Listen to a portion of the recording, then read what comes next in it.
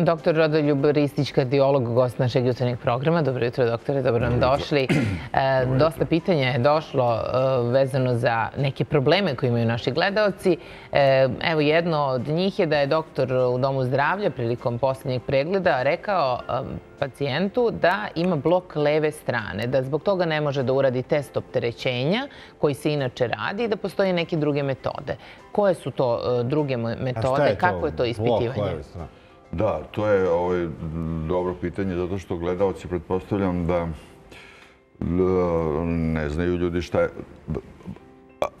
Srčani impulsi kojim se srce, koji, koji, koji podstiču srce na normalan srčani rad, na normalnu kontrakciju, se stvaraju u srcu u jednom malom čvoriću anatomski, to sad nije bitno kakve strukture, nervne, koji se zove sinusni čvor.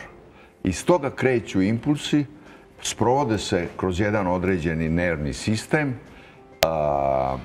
Hissov snop, tako se zove, koji se u jednom trenutku deli taj snop na levu i desnu granu.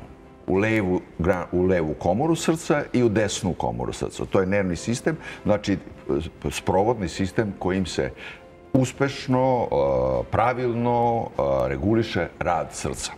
Ali se događa da iz nekih razloga postoji blok na tom putu leve grane ili desne grane i da taj impuls kasni u dolasku na određeno mesto u srcu.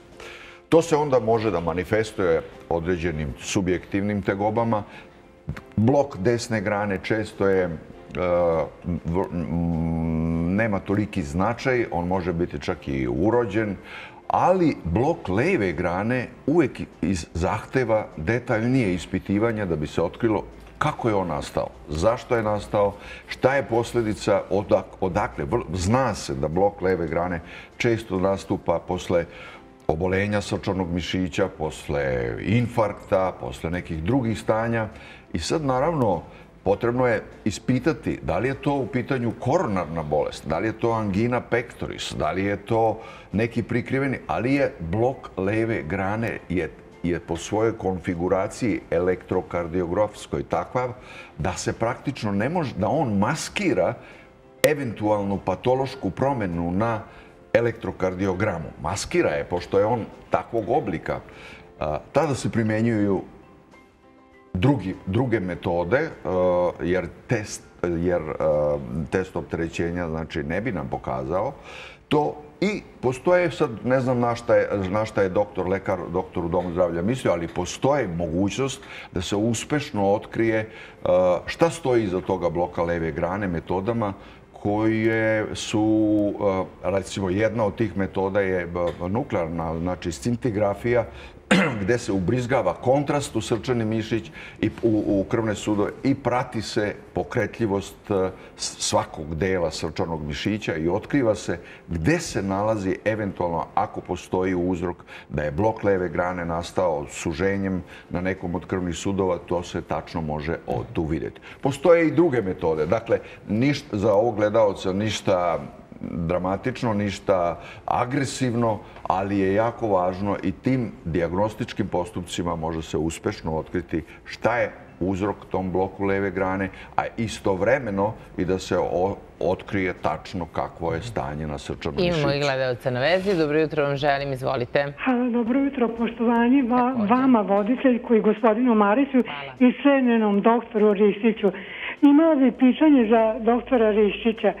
Ova, molim vas, doktore, ja sam dobila lek Vera Pamil od 80 mg koji upotrebljam ujutru i, i uveče. I sada, da li, gospodine, može Vera Pamil da e, izazove bolove u mišićima i globovima? Molim vas za odgovor. Uh, Vera Pamil je, da kažemo tako, pod navodne znacima stari lek koga svi lekari, e, internisti i uopšte lekari dobro poznaju. Široko se primjenjivao i to je lek koji služi, spada u grupu kalcijom antagonista i to je lek koji služi u sprečavanju ubrzanog srčanog rada, aritmije, dovodi do, dakle, poremećaje koji, koji postoje kao što je pretkomorska aritmija može i komorska može mnogo da pomogne. Dakle, vaše pitanje da li on može da izazove pa može da izazove, ali je to daleko karakterističnije za druge lekove iz, iz te grupe koji mogu da izazovu bolove, crvenilo, eritem na, na, znači na mišićima, na potkolenicama na, na, i, i, bolove. Ali verapamil je toliko široko primenjivan lek da meni lično ta nuspojava kod tog leka Ja je nisam do, do, imao i nisam je u mojoj praksi svakodnevno, iako radim već evo koliko radim, nisam imao. Dakle, ne bih mogao sa sigurnošću da kažem da je u vašem slučaju posledica bolova u nogama posljedica leka verapamila. Teoretski je moguće, ali to, te nuspojave kod tog leka su izuzetno redke i ja ih, ponavljam, nisam imao u svojoj praksi. Mhm. Često kada ste vi gost našeg jutarnjeg programa pominjete nošenje holtera 24-časovnog i da li on može da, se, da pomogne i da se otkrije angina pectoris? Holter, holter, dakle aparat koji se e, zove e, po, po, po e, njegovom Izumitelju. Izumitelju Normanu Holteru je, je zaista jedna danas izuzetno važna diagnostička metoda koja, s kojom mi, lekari, internisti, kardiolozi, možemo mnogo toga da, da, da diagnostikujemo. Da li može angina? Angina, pre svega, staje angina pectoris. Angina pectoris je jedan od oblika koronarne bolesti srca, znači suženja na krvnim sudovima koji dovode do određenih tegoba koje su karakteristične i kada pacijent e, ispriča svoje tegobe lekaru, on prepoznaje u njima velik, sa velikom verovatnoćom da se iza toga možda radi o angini pectoris. Ali postoje, e, postoje, postoje takvi, takva stanja kod pacijenata gde je test opterećenja kojim se konstatuje između ostalog angina pectoris rizično uraditi postoje načini, e, druge metode. Međutim, holter, ako se on se pre svega, taj aparat koristi u našem poslu da bi otkrili da li postoji poremećaj srčanog ritma. Kakvi su to poremećaj srčanog ritma? Da li su to ozbiljni, maligni poremećaj srčanog ritma? Da li postoje poremećaj u sprovođenu srčanjog impulsa koji dovode do pauza velikih koji zahtevaju ugradnju pacemakera. To je osnovna stvar kada se holter primenjuje. Ali on može da otkrije takođe i da li postoje promene na elektrokardiogramu koje on beleži 24 sata kada pacijent, a kada nosi holter, on treba tada da hoda, da malo... To znači nije kao kada legne u, u, na pregled u, u, na krevetu i bude u potpunom miru i tada mi dobijamo pregled njegovog rada srca u njegovom strogom mirovanju. Ovako gledate u svakodnevne aktivnosti Ali kako kada ga on stavi, mhm. jeste u svakodnevnoj aktivnosti, pa još ako mu kažemo da vodi dnevnik, da se popne na treći, četvrti sprat ako je u Beogradu ili u gradu, ili ako nije u gradu, nego da se malo jednim brdovitijom ulicom popne, onda ćemo videti registrovanje elektrokardiograma i sve moguće, ne sve moguće, nego sve ono što se pojavljuje i između ostalog moguće je prilikom fizičkog napora da apara, da registruje elektrokardiogram tada jednu promenu na elektrokardiogramu koju mi zovemo ST depresija koja govori da se ovde radi o ishemiji, o, o, o obolenju srčanog krvnih sudova, o, kor, o, aterosklerozi i konstatujemo da postoji angina pectoris. Dakle, može da se konstatuje angina pectoris nošenjem holtera 24 sata. Hvala. Da vidimo gde nam je naš kolega Ivan Ivanov ovog jutra i kakve vesti, nadamo se lepe, donosi sa ulica grada ili sa pijace, gde god da se nalazi. Dobro jutro, Ivane.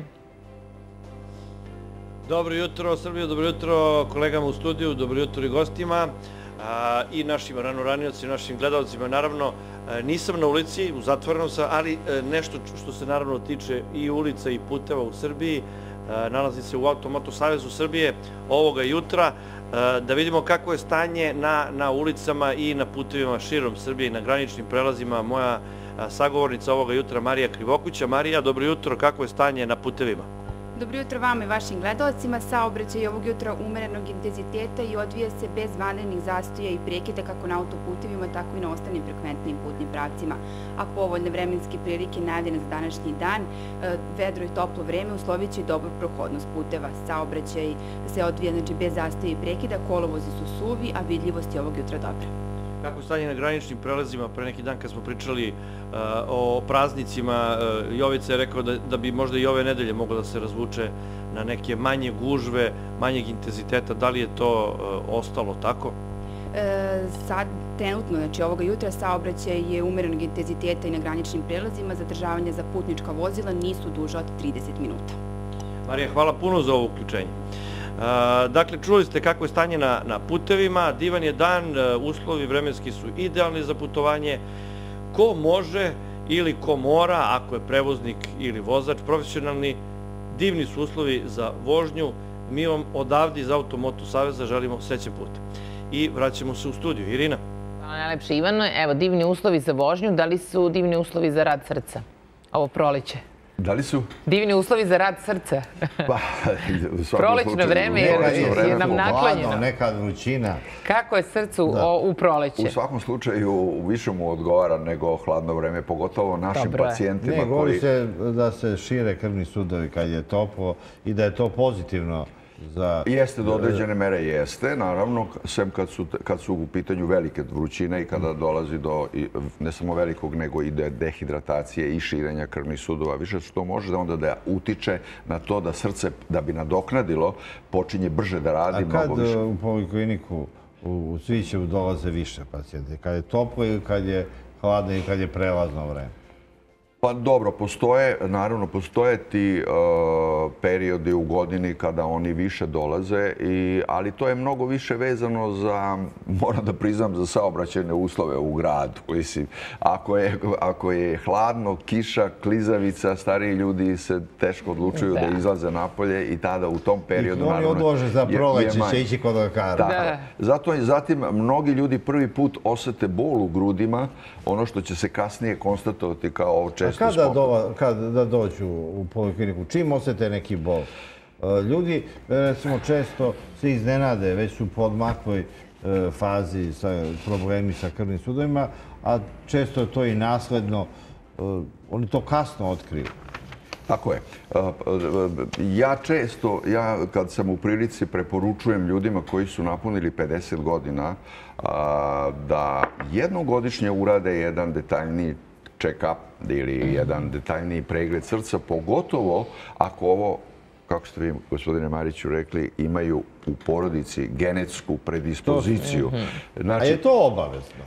ne. Ali otkriju možda kasno Ali kad, tad... upravo, je, upravo u tome i jeste stvar. Mnogi ljudi, ja sam se, ovaj, neka me, neka me, nek, dok sam radio u gradskoj bolnici,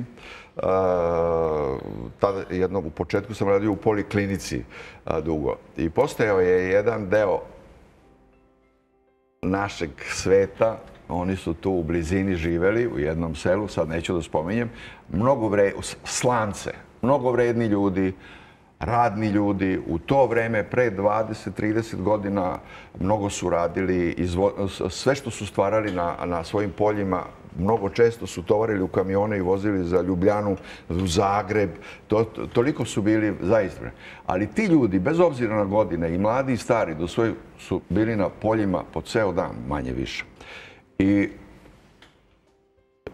samo kad vidim kola kako stižu i kako nose, prepoznajem ih, rekao gotovo, evo, slančani dolaze iz velikog sela, iz slanaca pogotovo sa sela.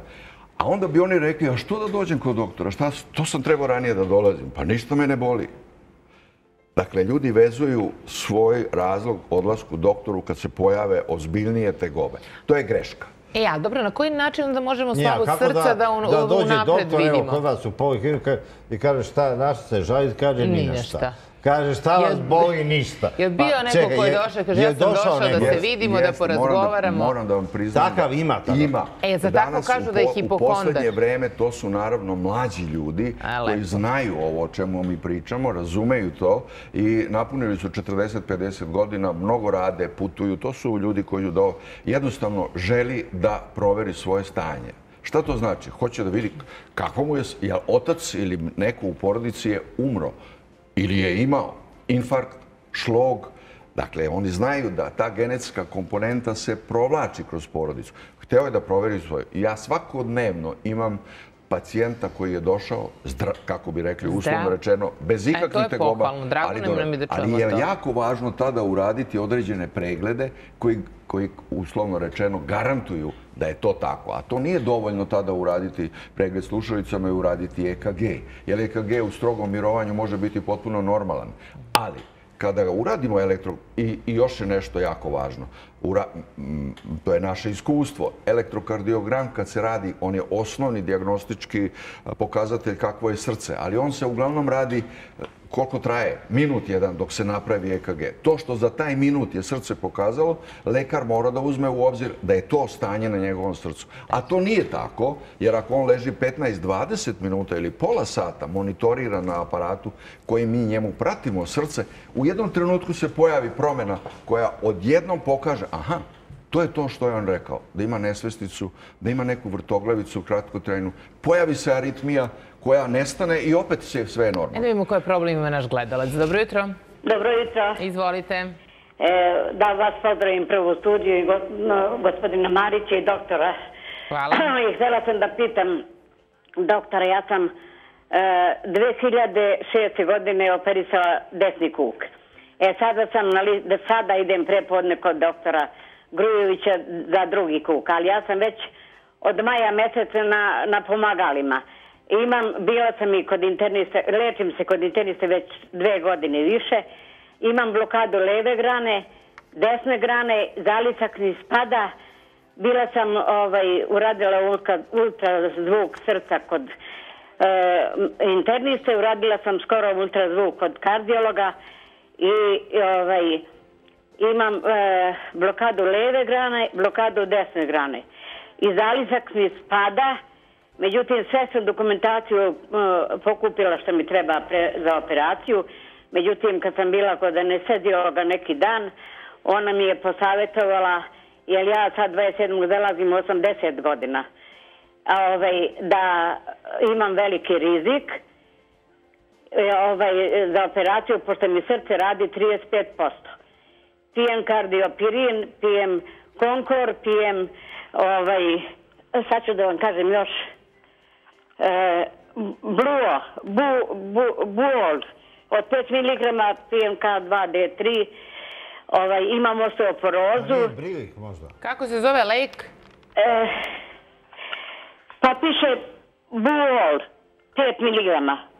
Ne znam. Doktor nije čuo za ovaj lek. e, Nije, Ste nije, sigurni? nije gospođa dobro pročitao sigurno. Ovako, gospođo, da vam kažem. To kao da ne dobijem infarkt, tako Dobro, su mi rekli. evo, evo savjet doktora. Samo da vam kažem, a, operaciju koja je vama predložena je za vas jako važna i ukoliko postoji e, e, mogućnost da se ona uradi, a postoji, onda je treba uraditi. Naravno, a, nijedan hirurg, nijedan ortoped, nijedan anesteziolog neće pacijenta uvoditi u anesteziju, neće raditi operaciju dok nema mišljenje kardiologa o njegovom o stanju kardiovaskularnog sistema. Dakle, vidim da ste vi uradili to što je potrebno. To nije mi jasno sada, nisam razumeo, spominjete i blok leve grane i blok desne grane. Pitanje je, ako je blok leve grane nastao skoro, a, posljednjih mjesec dana, dva, tri, onda se nešto događa i to lekar kardiolog mora dobro da razjasni. Ali jedno je sigurno, postoji vrlo precizni pregledi koji kada se vi pregledate i kada se urade ti pregledi, oni mogu jasno da kažu da li postoji rizik, odnosno da li postoji kontraindikacija za hirušku intervenciju ili je situacija dovoljno dobra i stabilna da operacija može da se izvrši. To lekar, kardiolog može sa velikom da kažemo, sigurnošću da kaže ako uradi preglede koji su neophodni. To je pored toga što ste vi uradili, kažem, jedan kvalitetan, dobar ultrazvučni nalaz sa, sa svim onim što još prati te preglede, govori kolika je snaga vašeg srca, da li je srčana pumpa u redu, da li postoje znaci slabosti srčanog mišića ili ne i tada operacija može uspešno da se izvede. Evo, gospođa se žali kao srce radi 35% kad se izvrši analiza e, prohodnosti krvnih sudova, karotida, neke su zapušene 50, 40. E, kad srce radi? Koliko kapaciteta? Može 35. E, to je, koliko je dovoljno? To je, to je jedno od vrlo čestih zabluda. Da budu zapušeni. Da. Ovde sad radi jedna stvar da srčana da li postoji problem sa srcem ili ne, da li je njegova snaga očuvana ili ne, postoji jedan od načina da se to može precizno izraziti, to je ultrazvučni pregled kojim se konstatuje, kako kažemo pod navodnim znacima, kolika je snaga srca. Pa kažemo, a to se, ta snaga se zove ejekciona frakcija. Obeležava se u onom našem izveštaju sa dva slova. E, F ejekciona frakcija. Šta to znači? Kolika je istisna moć leve komore. Leva komora srca, za razliku od desne, ona kada je primila krv, ona je ta glavna koja istis, istisne krv i snabdeva ceo organ, srce snabdeva ceo organizam krvlju. Količina krvi koja je tom kontrakcijom izašla i se meri kao ejekciona frakcija. Taj broj treba da bude, ta brojka, ta vrednost treba da bude 50% ili više. Znači, količina krvi koju je izbačena je, izbačeno je preko 50%, ali krvi koja se nalazila u levoj komori. Sve što je preko toga više je utoliko bolje i govori o dobrom i kvalitetnom radu srca i pumpe. Ali ako je to manje, ako je to 40, 45%, To znači da postoje blagi znaci slab, slabosti srčanog mišića, ali to još uvijek nije ništa dramatično. Iz odgovarajuću terapiju, ponašanje, ishranu može da se vodi normalan život. Naravno, uz odgovarajuće ograničenja vodeći računa da ne trošimo preterano fizički uh, svoj srčani mišić. Ali, pitanje je koliko to može da bude suženje... Evo, gospođa kaže 35%. 35% da. ta ejekciona frakcija je znak slabosti, slabljenja srčanog mišića i ona je već ozbiljna i zahteva, naravno, vrlo preciznu i terapiju, i ponašanje, i praćenje, i češće kontrole. Kada ejekciona frakcija padne ispod 20%, tada se razmišljalo mnogo u jedno vreme o transplantaciji srca, o, o tome i to je onda već sasvim već druga stvar. Ugroženi. Ali ta brojka mora biti 50 i nadalje ili ako je 45, 46, to još uvijek nije velika dramatika, to se može e, zaustaviti, priprem, o, o, uraditi da život ostane normalan uz odgovarajuća, naravno, ograničenja. Još jedan gledalac. Dobro jutro. Dobro jutro, želim. Poštovanje, izvolite. Veliki pozdrav. Hvala, najlepše, izvolite. Za sve u studiju. Ovaj, za gospodina ovaj, e, e, Ristića jedno pitanje. Otac mi je ovaj, operisao želudak sinom. A ovaj, imao je tri hemoterapije i sad je ovaj, dobio trombozu u nozi. Nikad nije bio pušač, nikad nije bio ovaj, ako nije imao neke ekstremne situacije u životu. Ne znam kako ovaj da, dalje da ga ovaj da, mislim a, ne, nisu neki i dobri i tako.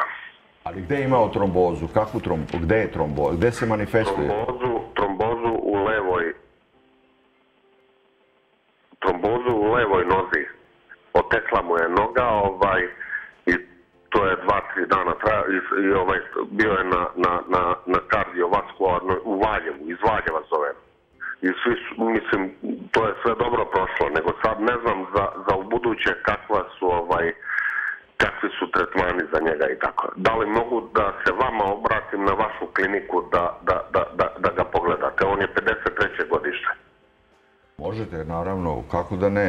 ali radi se o tome da, mm, naravno, to je sad suviše delikatno pitanje. Ta, otac je imao malignitet, operisan je, bio je na hemoterapiji, ako sam dobro razumeo, i desila se i tromboza. To je moguće, naravno, ali je tu sada bitno kakav je dalji program za da li se hemoterapija završava, da li je, da li je šta je predviđeno dalje da se uradi. Vrlo je bitno da li pored tog maligniteta postoje još neke takozvane sekundarne promene tog malignog procesa koje se sada nalaze negde u, u organizmu. Znači, pitanje je malo, e, nije za, za, za suviše je, kako bih rekao... Stručno ili... Da, oz, da. I nijanse su potrebne. Jeste, to je ozbiljna stvar koja, ali se ali naravno... svakako može da vam se dakle, obrati u kliniku i pa da vidite o čemu se radi. Ukoliko vam se ukaže prilika i ukoliko imate mogućnost, mislim, do, možete da dođete, mi smo u Cvićevoj, jel? U Cvićeva 38, to je praktično moguće sve uraditi što je potrebno da se proceni da, očigledno da, da je stanje e, zdravlja njegovog oca komplikovano i mora... Ja sam nažalost imao u mojoj porodici najbližeg člana, mislim, e, sa karcinomom želuca i znam kroz što je sve on prošao i svi mi zajedno. I, ali Razume. jedna detaljna, jedna, de, jedna dobra kontrola mnogo može da, da pomogne. Evo kažu, previše ljudi umre sa srcem predobrim za umiranje, svoje vremeno izjavio američki kardiohirurg Beck. E, to priča je o infarktu. Nekad se čovek osjeća sasvim dobro, ne traži pomoći lekara, normalno i funkcioniše, bar tako izgleda, a onda mu se desi infarkt. To je upravo ono o čemu mi Pričamo, sada govorimo. Upravo o tome. 80% ljudi Jer dobiju, ima najave srčanog udara slog, ili ne? Samo da kažem, ima, e, ima ali o 50% ljudi dobiju infarkt, a da pri tome nisu imali nikakve tegobe. Odjedno. Šta to znači? Postojale su promjene na krvnim sudovima srca, koronarnim krvnim sudovima, njemu nisu izazivali ili je postoji poremećaj metabolizma šećera kod diabetičara, pa oni ne osjećaju bol, diabetičari ne osjećaju opomenu. Ali zato, kada se uradi taj detaljni pregled koji podrazumeva monitoring, ultrazvuk, holter, test opterećenja, ne može da se dogodi infarkt iznenada mm -hmm. i ne može da ga dobije infarkt onaj koji je to uradio ukoliko smo mi to na vreme videli, predočili i preduzeli mere koje će sprečiti nastajanje infarkta. Zato ponavljam po ko zna koji put. Preventivni pregledi su neprocenjivi kada jednom napunite Nažalost, mi sad, ja svakodnevno srećem i dolazim mladi ljudi sa 40 godina imao infarkt. Sa 35 godina imao. Šta se to događa? Zašto je to tako? To je sad druga priča. Ali je pregled koji, kada postoji taj takozvana paleta rizikofaktora, u porodici je postojalo to, on ima diabet, e, povišen krvni pritisak, puši, a nema tegoba. Nije da nema. Imaće ih, ali neka dođe da se to, neka uradi preglede koji će zaustaviti proces i ukazati da na vreme se urade stvari koje to mogu da spreče. I ono što doktori uvek kažu fizička aktivnost, onda ljudi kažu pa mi nemamo vremena za to, a onda mi nađemo uvek rešenje. To je neka brza šetnja, pola sata dnevno. Mislim da svako ima vremena za to, a to je za naše srce dobrobit. Pa, velika. Jeste, i to je velika i to je onaj ko to može da, i ko neko može, ko, ko ima dovo, do, dovoljno upornosti i, i da, da to uradi, mnogo čini za sebe i za svoje srce. Apsolutno. E, apsolutno. Doktore, može čovjek da ima jako srce, da nema srčanih problema, a da ima uh, zapušene krvne sudove. Znači, nema, e, nije, nije obavezno jedno i drugo.